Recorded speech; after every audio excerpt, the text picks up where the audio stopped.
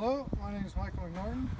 I came down from Fort McMurray to buy a new reliable vehicle for my family. And I walked in and Jeff grabbed me and we started talking. He helped me find what I needed. Perfect. And uh, um, who else have you got here with you? It's uh, my daughter Amelia, she's three months old, my girlfriend Caitlin. Perfect. Thanks. Nice to meet you.